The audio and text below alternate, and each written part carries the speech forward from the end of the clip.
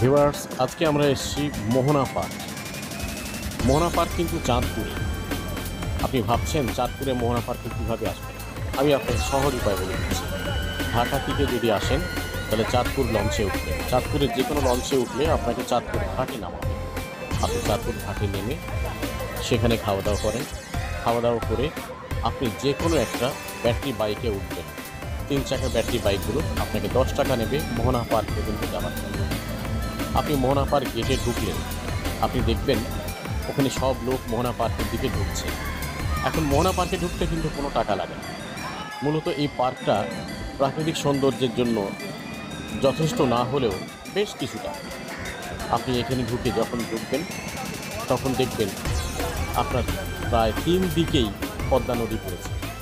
এবং পদ্মা নদীর ঠিক কাছাকাছি একটা দ্বীপ দ্বীপ ভাব মনে হবে আপনার।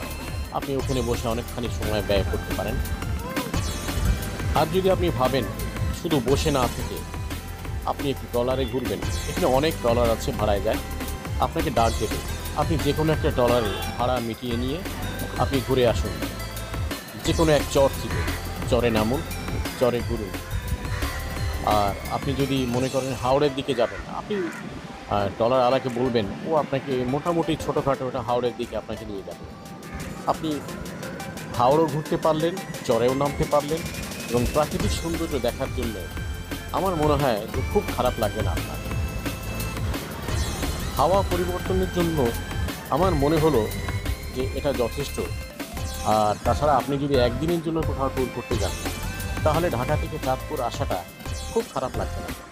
আপনি ঢাকা থেকে চাঁদপুর সকালে রওনা হলেন, রওনা হয়ে এসে আপনি পার্টি খাওয়া দাওয়া করলেন খাওয়া দাওয়া করার পরে আপনি চলে আসলেন মোহনা পার্কে। মোহনা পার্কে এসে মোটামুটি সারাদিন সময় কাটালেন।